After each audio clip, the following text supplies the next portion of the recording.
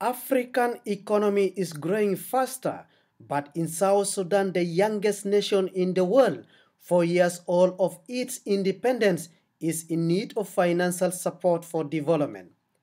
The summit that attended by a number of African leaders and government calls on African leaders to advance the achievements of sustainable development goals, expanding the role of African business in the implementation of the Addis Ababa Action Plan that agreed by all UN member states at the Third International Conference on Financing for Development. The African leaders are committed to work together with US government and investors. It has been noticed that few African countries having insecurity are left behind on economic development. Speaking during the summit, Vice President James Wani Igga says political and civil wars has contributed to the reduction of the economic development in South Sudan. He say South Sudan is blessed by many natural resources and open for investors who are willing to invest in the country. South Sudan is the third largest oil producer in sub-Saharan Africa with a current production potential of over 350,000 barrels uh, uh, per day. The country's extremely underdeveloped oil and gas industrial production beckons for massive capital injection with a guaranteed return on investment. There are over 20 minerals that have been prolonged mined by locals, including gold, copper, mercury, iron ore, and so on.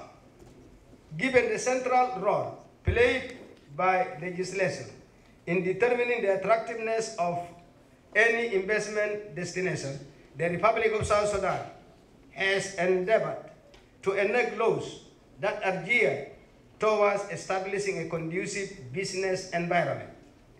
The South Sudan Investment Promotion Act, for example, 2009, and Company, uh, Companies Act 2011 provide attractive incentives to foreign, regional, and local industries such as uh, easy land acquisition, company registration, income or profit repatriation, and duty exemptions uh, and anti-expropriation uh, measures. The Prime Minister of Ethiopia, Haile Mariam Desalegn, and Uganda President Yoweri Kaguta Museveni calls on U.S. investors to be a partner for investment in Africa countries. Haile Mariam say 70% of the population of the African countries are young people. The African rising narrative is true, and it's a fact that we need to work very closely together. I say this because, you know, it has been a century for the Asians, uh, the last century. And now we are coming up as a continent to show that this is a century for Africa. Africa is rising. Africa has been growing as uh, very fast in economic development, not only in economic development alone, but uh, also in uh, human development.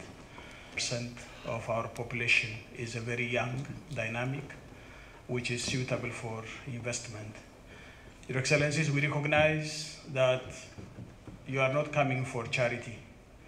You are coming to make profit. You open your market to us, for market to us here.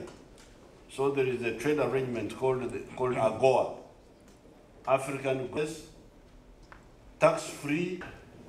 We have also got talked they didn't implement, but at least they talked about the same. Even Japan.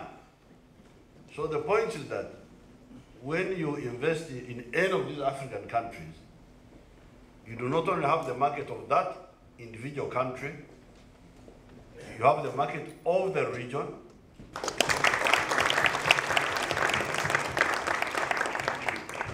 The peace agreement on the resolution of the conflict in the Republic of South Sudan was signed last month by the President of the Republic, Salva Kiir Mayardit. just remain its implementation. And that is a good news to investors all over the world. The government of South Sudan invited U.S. investors to invest in South Sudan, like China and Japan, who are doing developmental projects in South Sudan.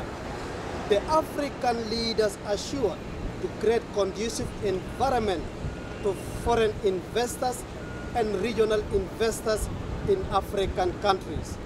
For South Sudan Television, I am Henry Jarajo reporting in New York.